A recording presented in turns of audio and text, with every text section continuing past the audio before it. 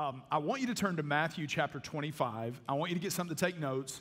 Um, we're going to go back into this series we began last week called Lost Arts. Let me give you the, the kind of the, the reasoning because I realize that's an uncommon um, title. Our faith is not new. Uh, it's about 2,000 years since the church was born. And over 2,000 years, you're going to gain some things like uh, understanding and, and knowledge, but um, you're also going to lose some things. And often when you read scripture, you will see practices that you're not practicing. And some of that's because it is a cultural context, but then sometimes it's because they're lost. And I, I, just have this conviction that there are some things we've lost that could actually add a lot of life to our faith. So we're kind of going back and digging them out. And I just want to warn you this is kind of a pastoral warning. If you happen to be someone who, who you're just, this is just a casual Christianity thing for me, I'm just looking for a comfortable thing, a checklist thing, this is not going to be a great series for you. Um, and I bring that up because to find something takes effort.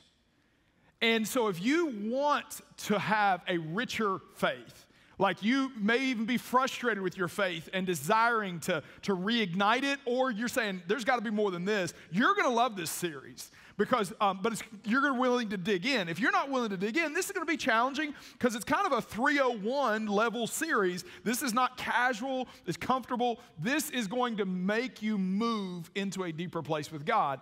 Um, but here's what I think you'll find you're going to find some new strength in some old ways. So as you apply yourself to this series, I think you're going to find what you're looking for in some new strength and a richer faith. Today is going to be one that's really challenging. I want to talk to you today about the art of tarrying. The art of tarrying. And I realize you have no clue what I'm talking about, okay? So, so the best way for me to explain this and get us started, um, when Kayla and I were dating, we, um, we lived two and a half hours away from one another. So that means the lifeline of our relationship was our phone. Now, when I say phone, I do not mean what you think of when you think of phone. Uh, this was at a time when FaceTime didn't exist, texting wasn't a thing, very few people had cell phones. The phone that Kayla and I spent hours talking to each other on had a cord and was hooked to the wall, okay? Um, it, it, was so, so kind of antiquated that I had to go to a gas station and buy what's called a phone card that would give me a code to call someone long distance, and there was a number of minutes on that phone card. Now, I realize, especially at this service, those of you who are under 30 think now I went to school with Alexander Graham Bell. Like, you're like, he's that old, okay? Um, here's what I, I want you to get. We would do this for hours, night after night.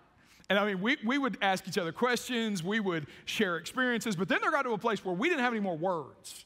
And so we just listened to each other breathe, you know? And, um, and, and I would, it would, usually it was time to get off the phone because the sun was coming up. And I would say to Kayla, I love you so much, I'll call you in a little bit. And then I, I wouldn't hang up. And she'd say, Aren't you going to hang up? And I say, No, you hang up.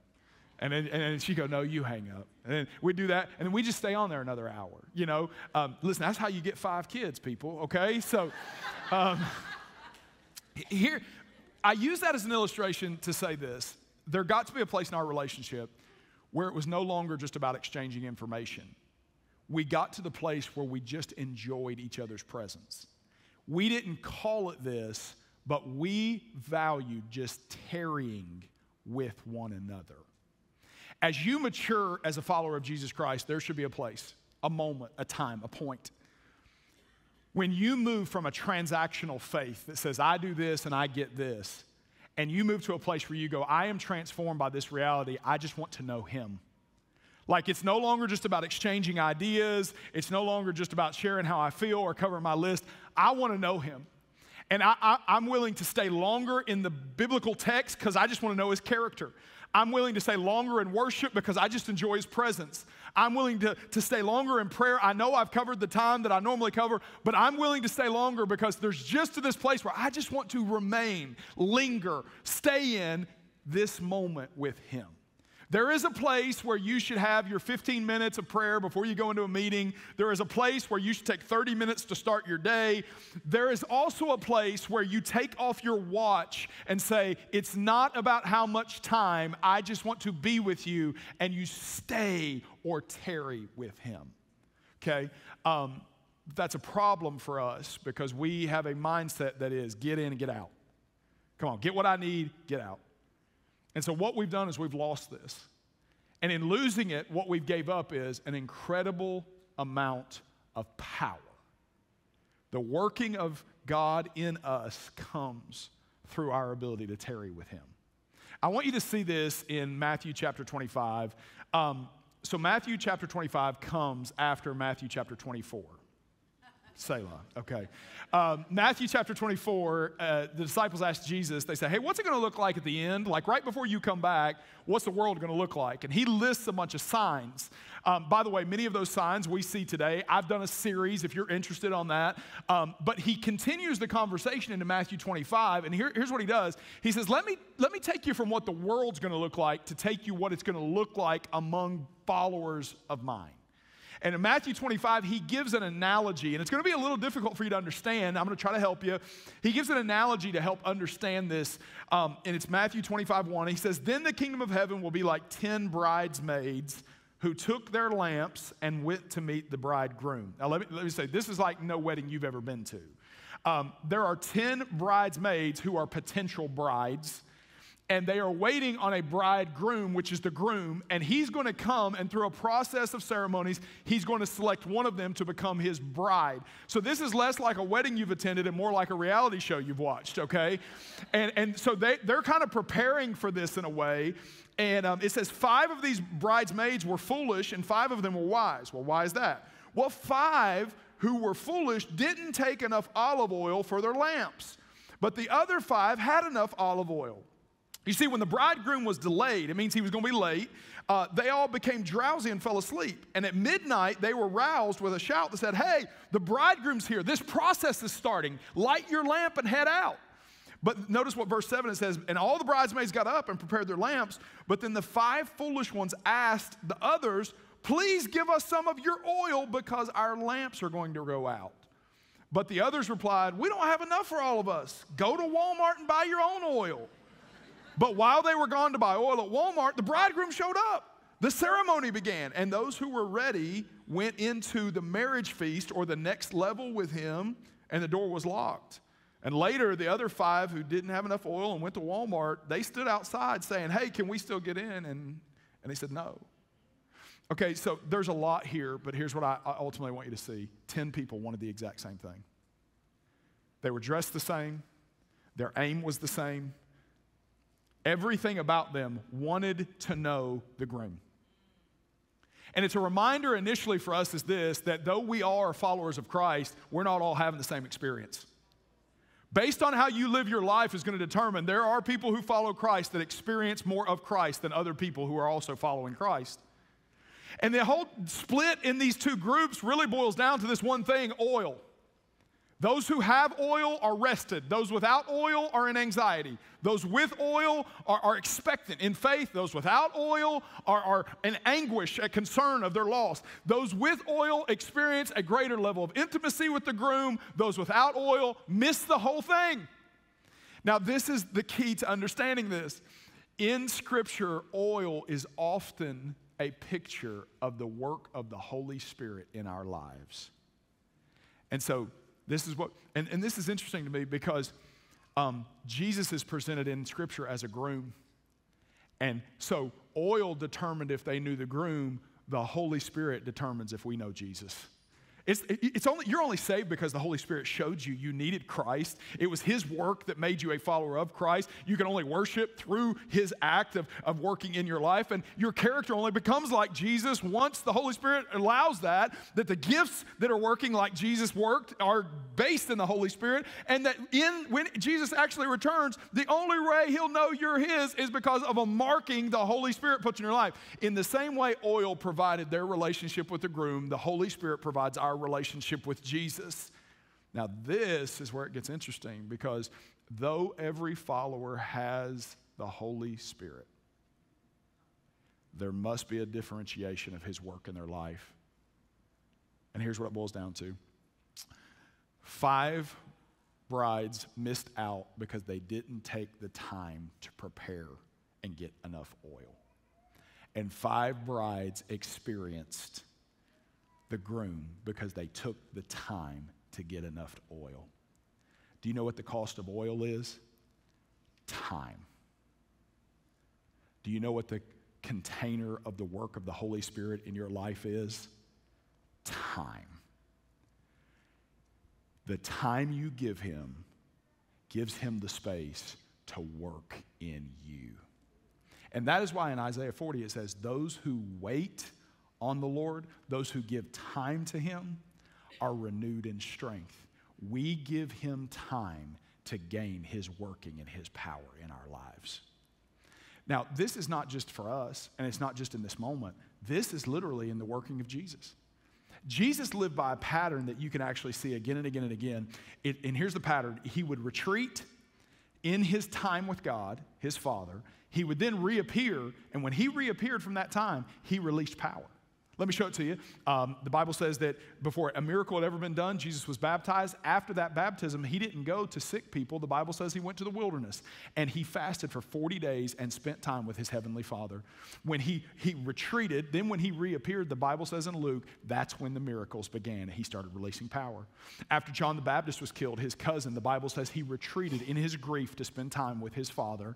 And then he reappeared. And when he reappeared, there were 5,000 people who were hungry. He released his power from that retreat by feeding 5,000 people with two fishes and five loaves.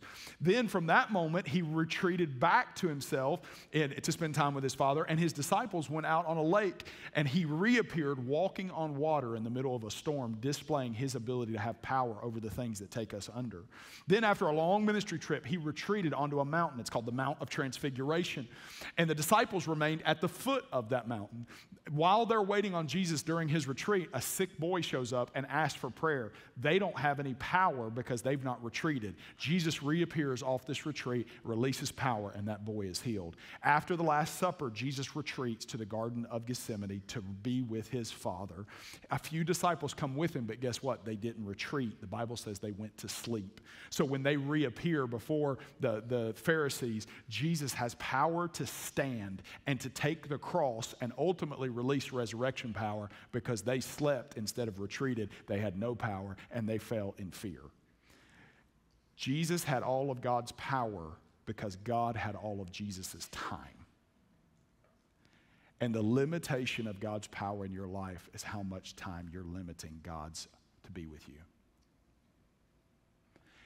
And th- this is not about works, by the way. It's not about if I spend two hours, I get a new car. Okay. It's about a relationship.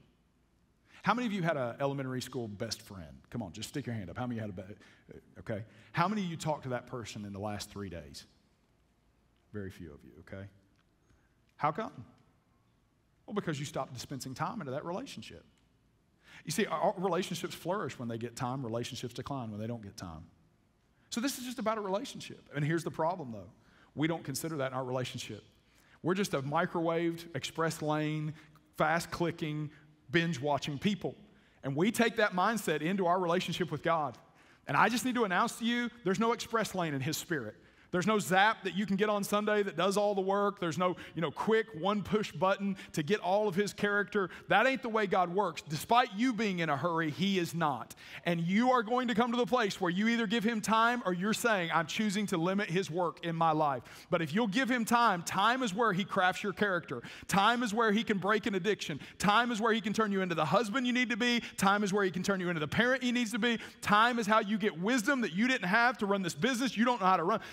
Give him time and he can work through your life. But as so you restrict your time, so you will not receive his power.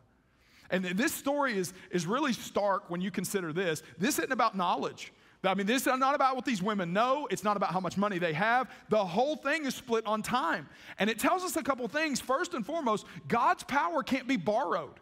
They tried that.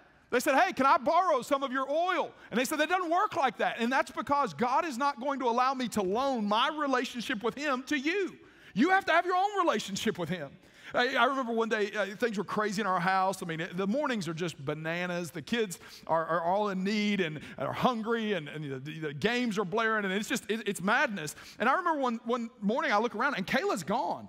I'm like, where is she went? I can't find her. She's not in the kitchen. She's not in the basement. She's not upstairs. I can't find her. I'm thinking, she has left me with five kids. What in the world? I, just about the time I'm about to call the police, I open up the garage door. She is sitting in the front seat of her car with the door closed, reading her Bible because it's the only place she could get any peace.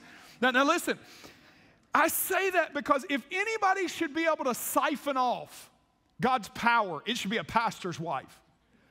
But Kayla is hiding in her car because she gets, I can't borrow Joe's relationship with God. I have to have my own relationship with Him because I can't get His power. My relationship is mine and hers is hers, and unless we create space, we will not be able to share in it. Listen, I, I, know we say things in sermons like, you know, God needs your worship and God needs your, your money and God needs your time. Let, let me just be clear God doesn't need anything. God is contained all in and of himself. God doesn't need your money. He owns your money. You just don't know he owns your money. God doesn't need your worship. As a matter of fact, before humanity existed, the Bible says that the angels have been crying unstopped for, for eons. Holy, holy, holy. The Bible says that, that the rocks and the trees, we don't get their frequency. They're having a worship service right now while we sit in here. God doesn't need your worship. God wants you. God is so desires a relationship with you. He was willing for his son to die. God literally is dying, or he died to have time with you. Do you think he's going to let you borrow somebody else's relationship after paying that price? No. The other thing this, this story teaches us is that God's power can't be substituted. It does not read that they ran out of oil, so they grabbed a flashlight. Because there's just no other solutions. They're in the dark. And that's the way, I, I know it doesn't feel that way because you're capable and you're talented, but I'm just telling you, you're in the dark without the work of the Holy Spirit.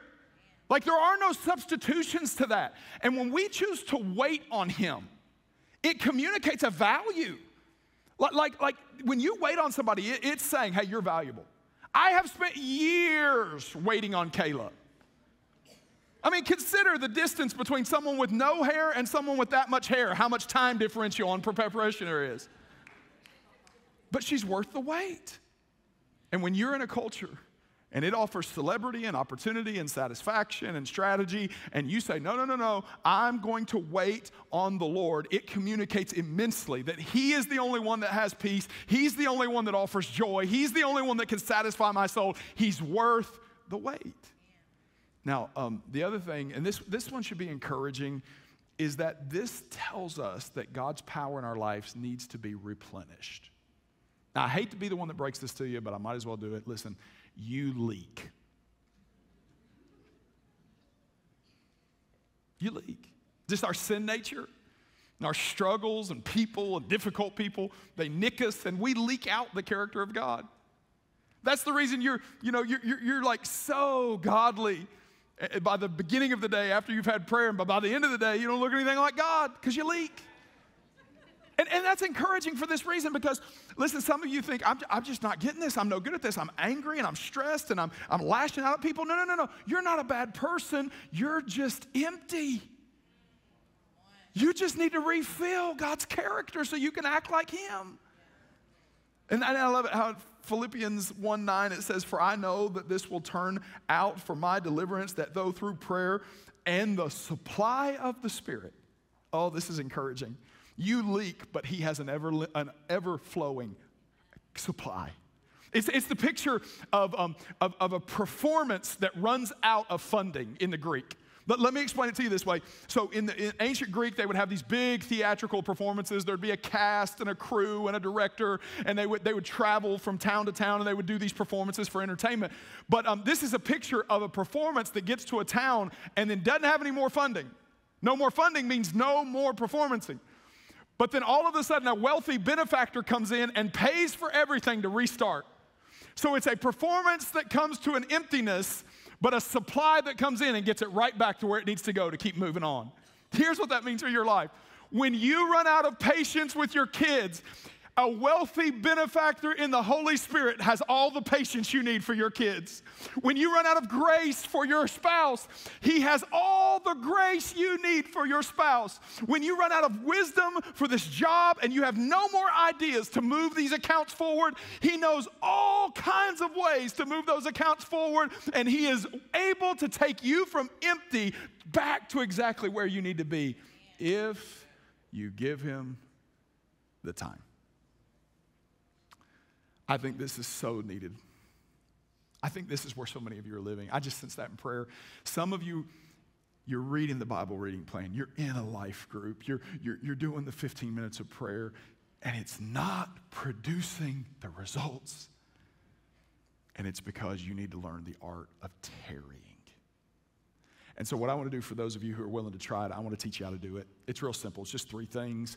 Um, I'd write these down if, if, if, you want to see a new vibrancy in your faith. Here's the first one um, create space and, and control your soul. Um, in the early 20th century, there was a devout Hindu who had a dream. Uh, Jesus came to him in a dream and he converted to Christianity, left all the Hindu ways, and um, he, uh, he actually went into kind of ministry in Mumbai and he, he um, would host tens of thousands of people who'd come to hear him preach, teach the Bible, and he would pray for people. Miracles would take place. I mean, this guy saw an immense amount of God's power released. So he gained some notoriety, and they invited him to come to the United States and preach and teach and pray for people. So in 1920, he gets on a boat and leaves India to come to the United States. And it took him just over a month on this boat to get to New York. So he walks off the boat, and, the, and, and, and so the story goes he walks out and spends 30 minutes in, in, on the streets, and then he comes back, calls his host, and cancels all of his appointments. Gets back on the boat and goes back to India. He just took a month to get here and he, and he leaves after 30 minutes. Why? When asked, here's what he said These people are much too busy to receive what God has for them. That was in 1920. Could you imagine if he visited today? And, and, and, and it strikes at the heart of why this is a lost art. Every person in this room whether said or unsaid, is going, I'd love to do that, but I'm so busy. And, and, and you are. I mean, you're, you're busy with necessary things, and you're very busy with unnecessary things. I, I pulled off um, the average American, uh, some of the way they spend their time, just maybe this is you. Um, first, an average American spends one hour a day grooming. And I just want to say about this one, I feel like we should be getting more bang for our buck in, in this one. I, I you know, I'm not saying a one hour kind of result for some. Um,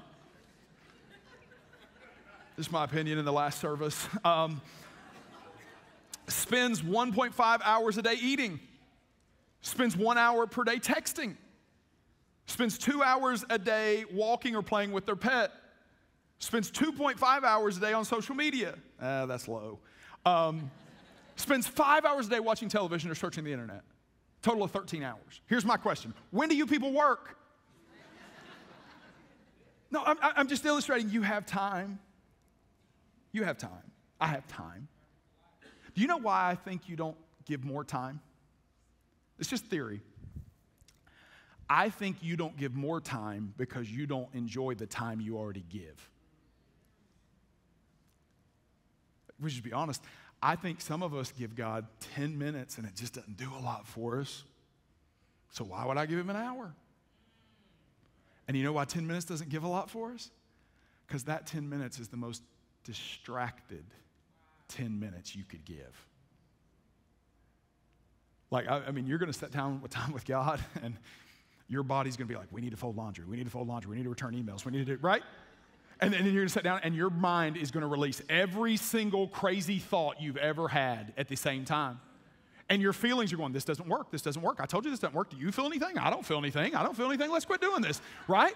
That's, that's the way it is. And this is, and then we think, this is not worth doing. Which is why, by the way, if I wanted to ruin a business, you know what I would do? Cut off its cash flow. If I'd want to ruin a relationship, I would cut off its attention.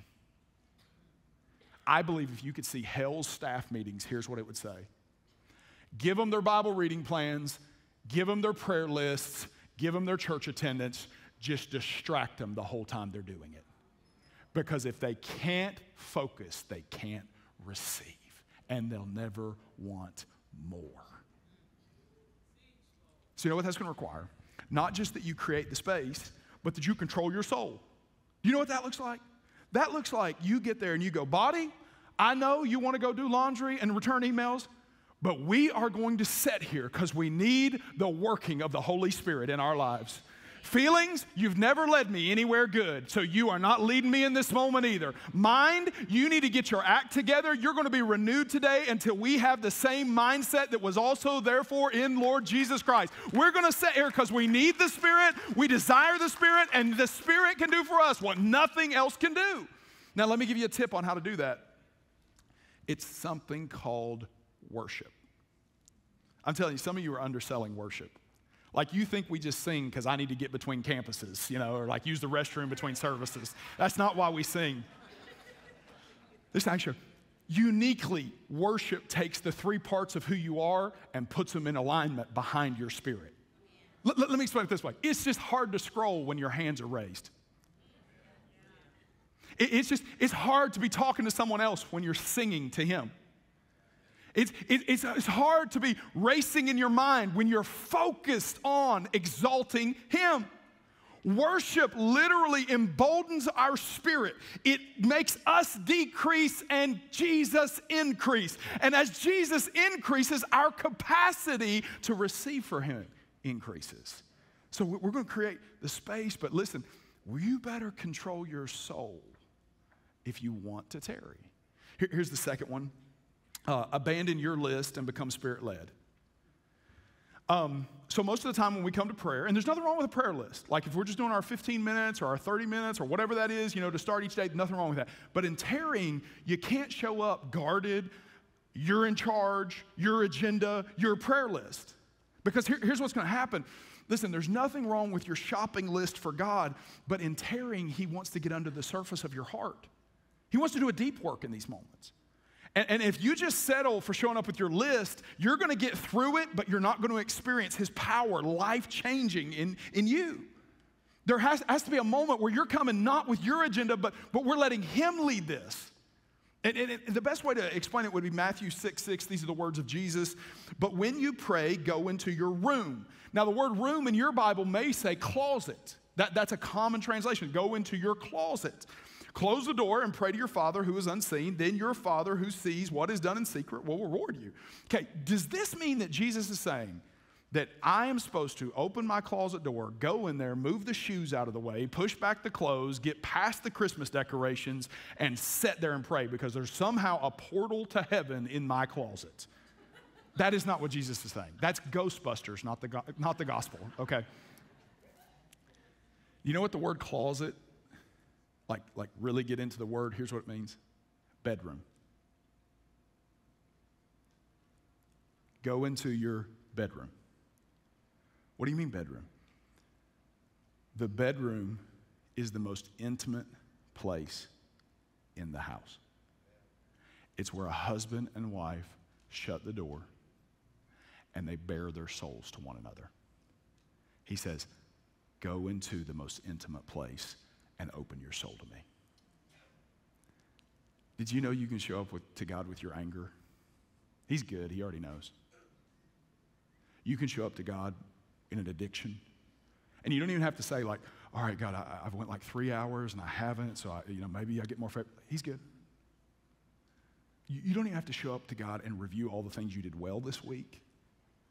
You don't even have to show up and even believe in the time you're showing up in. Like you could show up to God and go, God, Pastor Joe said do this. I don't have a lot of faith in it, but I'm going to try. And God's good with that. And it's because we approach prayer like we do Instagram, you know, filtered, superficial, to present us as the best. I don't know if God has an Instagram account. I can tell you this from Scripture He's not into Instagram, He's into intimacy, which is how we show up unguarded, without pretense, and going, hey, this is the most broken, messed up part of me. Are you okay with that? And he is.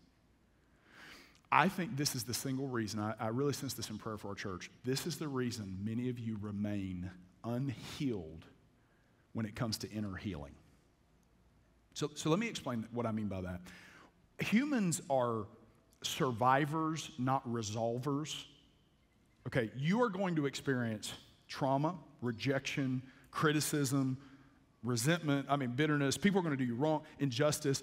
And here's what happens because we are not resolvers and we're survivors, you just take those emotions and you shove them and push them and press them, and they just go get put back in files and files and files because, and then you just refocus on the present and you call it moving forward because you think that somehow that stuff just disappears. It doesn't. And what happens is over time, it begins to subconsciously influence you. Like some of you are angry, like in this season, and there's no reason around you to be angry. You're actually angry because subconsciously it's tied back to something that happened to you years ago. Like, like some of you have anxiety, and there's really nothing to be anxious about right now around you, but, but it's because there's just some unresolved things way back there in your history. And you just kept moving forward, but they're unresolved. Okay, so, so here's what I'm the question is not, do we need to be healed? Everybody needs to be healed. The question is, who's in charge of doing the healing? You gonna heal yourself?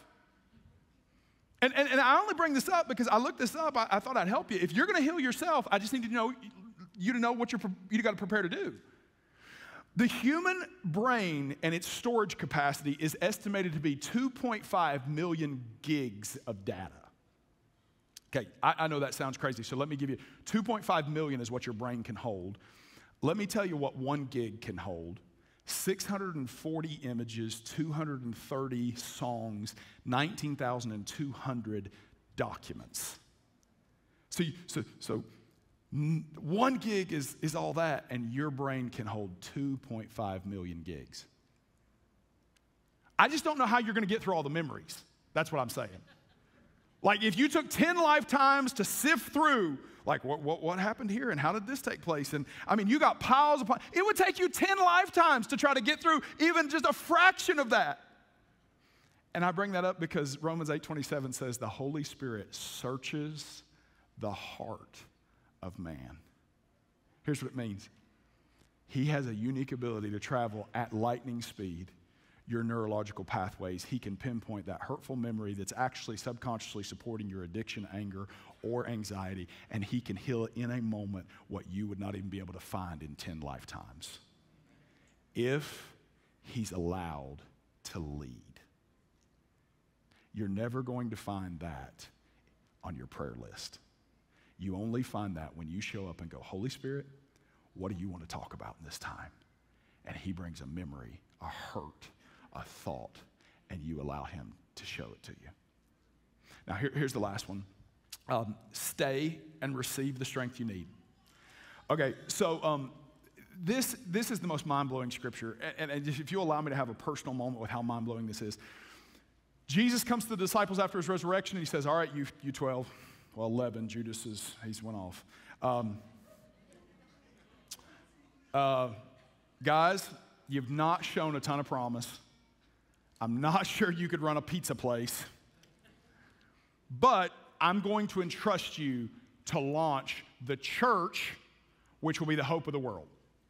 So let's have a little staff meeting here. And Peter goes, you know, because it's Peter, he goes, uh, don't worry about it, Jesus. I've already, I've already talked to a marketing firm. We're working on some data analysis. I've got some ads that are going to be going out. I also went over and, and prepared this org chart, of course, me at the top. And we're getting ready to add on some new staff. We're going to build this thing. Don't you worry about it. And, and he goes, Ah, oh, Peter, Peter, whom I love so much. I can't wait till the Holy Spirit comes and fixes all that in you. Sit down. Here's what we're going to do. And he says, Guys, there's one thing I need you to do. One thing. Not, we're not going to hire nobody. We're not going to org chart anything. We're not, we're, we're not marketing. Listen, listen, listen. One thing I need you to do. Just one thing. If you'll just do this one thing, this is all going to be okay. And here's the thing Luke 24 49. Behold, I send the promise of my Father, which is the Holy Spirit, upon you but, help me with this word, tarry in the city of Jerusalem until you are endued with power on high. He says, guys, here's the one thing I just need you to tarry. Like stay, remain, linger in a spiritual place in my presence and just seeking. And, and Peter, you know, raised his hand and go, oh, oh, okay, Jesus, are, are you sure you don't want to do the, like, I got a lot of great plans. No, no, no, no, no, no, Peter. Just remain seeking me. Okay, well, how long do we have to do that? Until. Just until. Until the joy comes, until the peace comes, until the victory comes. You'll know, just stay until. What if that's the key you're missing? Like you're reading your Bible reading plan, you're praying, you're worshiping in your car, but it just still feels like you, you don't have the victory, you don't have the peace, you don't have the joy. You know what I think you're missing? Your until. You're doing the right thing, but you're not staying until. Listen, God never guaranteed that our strength would come in 15 minutes. That's something we superimposed on Him. Sometimes it comes in 30 seconds, and sometimes it comes in three hours. What we have to do is stay until. The best way I could explain it is years ago, Kayla and I moved to uh, Birmingham, and, and I picked up really there like a love for tea. I mean, I've had every kind of tea fruity, herbal, unsweet, sweet, all of them, hot, cold, all of it. Um, and, and my favorite restaurant in St. Louis is actually the only reason I love the restaurant is because of the tea. So normally they would go to the back, they would bring you your tea, and it just came out of some dispenser. This restaurant uh, brings the kit that lets you make your own tea. That's why I love it. Okay, so, so I'm assuming at 1145, most of you know how tea works, right? Little unsure. Let's explain it. Um, so, tea is when we take hot water, and we, we're going to take hot water and we're going to pour it in a cup. And then some of you may enjoy adding things like um, sugar or some kind of sweetener. And then maybe for some of you, you would add cream. And then we take a tea bag and we drop it in, and, um, and, and, and then that's how we have tea. Okay, but I, I just want to point out, I like strong tea. I don't, I don't enjoy weak tea. Here's the thing you know about tea the water is not where the strength comes from. What you add adds no strength. The cream, no strength. Cup doesn't bring any strength. Even the type of tea has nothing to do with the strength of the tea. The only thing that dictates the strength of the tea is how much time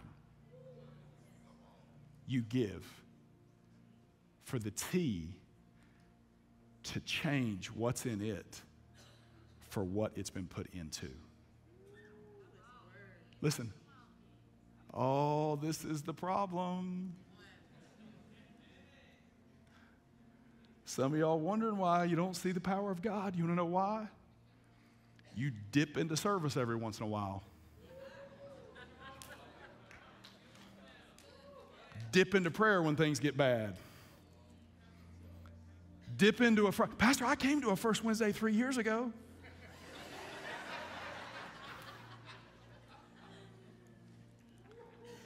a dip is not going to do it if you want strength.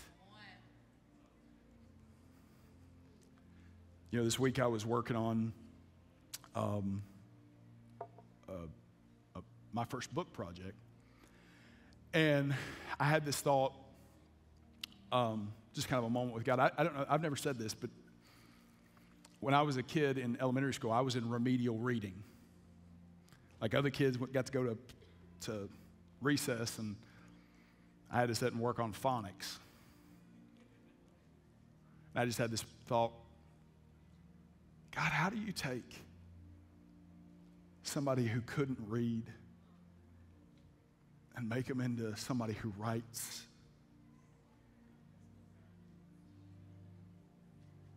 I mean, I, I really do live, because here's the thing some of you are so capable, and God's added so much into your life, and you know how to work it all together, but you're still weak. And I'm looking at my life and I'm going, I'm not, a, I don't have the capacity you do. I don't have the giftings you do. I, I, I mean, I, I don't have the, the tenacity to work. And yet I'm just looking and saying, God, how did you do all this in my life? And the Lord reminded me when I was a teenager, I was best friends with the pastor's son, and he gave us the key to the church. And so we'd go play basketball because it had a gym. And then after we played basketball, it wasn't un- uncommon for us to go into the sanctuary and we'd turn on worship. And we just, tarry, and then when I was in uh, college, I'd have big blocks between my classes. It was just not uncommon for me to go to my car, turn on some worship, and tarry. And then, you know, I remember my first job, I, I would leave the job and I would pass my local church on the way home. And so I would, I would often, often stop in, come in, and um, just go in and spend some time with the Lord. I, I it was just, I, I thought that's, I just knew I needed Him. It's not about like I'm high and I just knew I needed him. And God reminded me of that. You know what he said?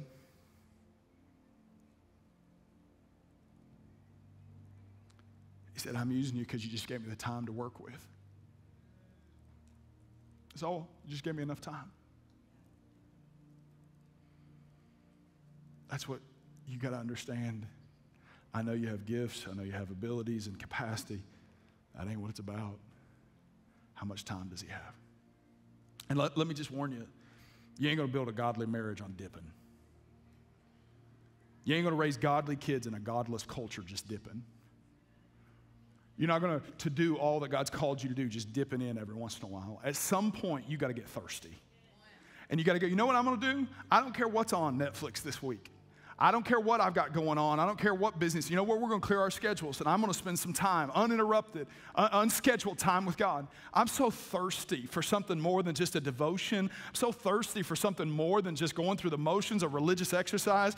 I am thirsty for the one who said, If you drink of what I provide, you will never thirst again. The wellspring of life, the source of all joy and peace. I'm so thirsty for him that I am willing to do whatever it takes to create a space for him to meet with me because I'm just aware I need it. I need Him, so I'll tarry till He comes. I need His peace, so I'll tarry till I find it. I need His strength, so I will tarry until it comes. If you want to see God do a work in your life, you got to stay until He comes.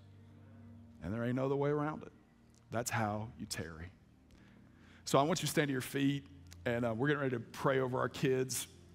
But um, listen to me, listen. I'm going to challenge you. This is the challenge. Prepare yourself. I want you to find an hour this week and try to do this. Now, I know some of you are like, an hour? Oh my gosh, I mean, three minutes, I get bored. Listen, listen. Bored ain't sin. we have gotten into a place where we think, I have to be stimulated all the time. No, you don't. You know what? On the other side of bored is you settled and resting in the presence of God where He can actually get to work on your character and your heart and those wounds that keep getting uh, untreated because you haven't given time. Bored's going to be your best friend in this. I'm just thinking there's some hungry people, some thirsty people who are going to be willing to tarry. So here's what we're going to do we're going to enter into worship. We're going to enter into worship. And here's why I say that I don't want our kids coming in here watching you look at your watch. I want them to come in and this be so spiritually passionate and vibrant that they say, I can't wait till I get to go to church in that room. I don't want you them wandering in here and you you just politely waiting. Come on, let's create an atmosphere for these kids to be marked by the Holy Spirit and for them to long for Him like we're longing for Him. So come on, if you just be willing, would you just raise your hands, maybe close your eyes? Let's just begin to enjoy His presence. Father, we come to you and we thank you. Hey, what's going on, everybody? I hope you enjoyed this message you just heard. For more information and other content, go ahead and hit that subscribe button and hit that bell icon as well so you can be notified every time we upload something new on our channel. Now, while you're here, go ahead and check out past messages and other videos, and we'll see you next time.